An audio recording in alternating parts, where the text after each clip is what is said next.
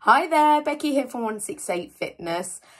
So over the past five weeks, I've been talking about one of my favourite things, that is running and helping you to get started on your running journey. So hopefully you have made a start by now.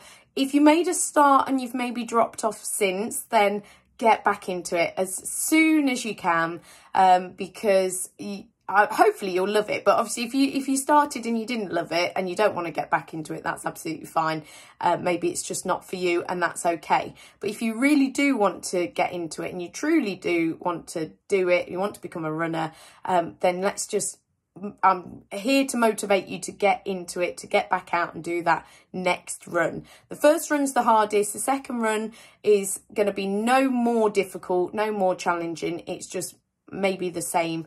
But mentally you know what to expect. You just have to go out there and do it don't you? So um, let this be your motivation your encouragement to go out there and do it.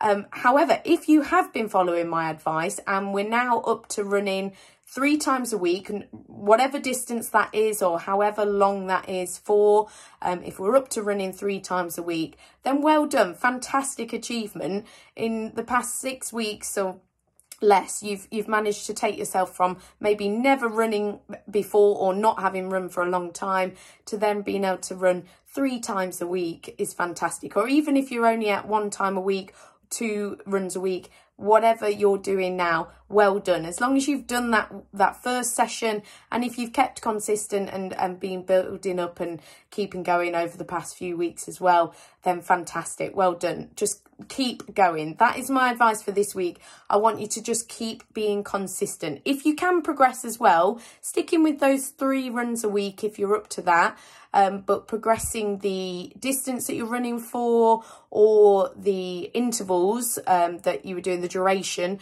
of running um, and increasing those um, then and just sticking with the consistently running three times a week then that's fantastic and really really well done. And that's what I want to encourage you to do um, over the next weeks and months and summer and into winter. If we can be doing it now then we get into the habit and then over winter when it's maybe not so appealing when it's darker and colder and maybe not so nice weather um, we've already built up that um, that fitness and also um, we just made it a habit so you'll want to do it. You'll miss those endorphins if you don't go. And that's where we're that's what we're trying to do by um by running three times a week. We're trying to build up sort of that you're doing it more regularly so that then you you feel better for doing it um, on those running days and then also you'll want to do it more often and uh, it'll keep it's a, it's a cycle basically. You'll you'll miss it if you don't do it. If you used to running three times a week and then one week you don't run at all or you only run once a week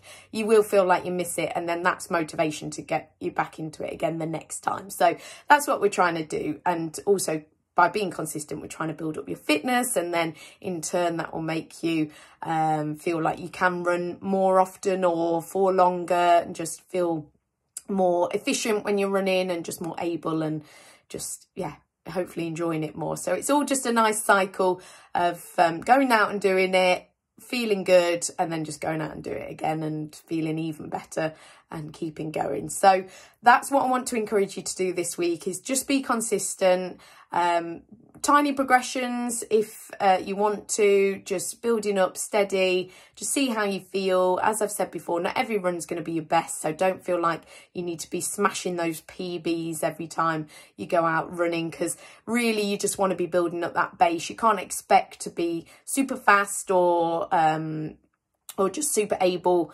and like running long distance and stuff if you've not really ever run before or if you've had time off um, from running you can't expect to get back into it um, and just get straight to where you were before because that's unlikely. So um, so just building up nice and steady and then just keeping being consistent keep doing it keep doing the work feeling good enjoying it hopefully as well. And then you can be inspiring other people as well to um, to get out running. And um, yeah continue your journey and uh, maybe help some other people as well. So if you have any other questions about uh, running and um, yeah, you or you you want to uh, my advice on entering any races or how to train for anything or whatever questions or about a, kit to wear or trainers or anything like that, please do get in touch. I do have quite a bit of experience, 20 years, as I said, of running. So I've kind of had all the injuries you could probably think of. Um, and I've tried out lots of different trainers and kit and things like that. So I do have quite a bit of knowledge on it. Um, and I would love to help you with any extra training that you need any help with as well. Um, but if you don't need my help, then please do just keep going. And I'll be back next week with some more uh, top tips. But please do keep going on your running journey. Well done.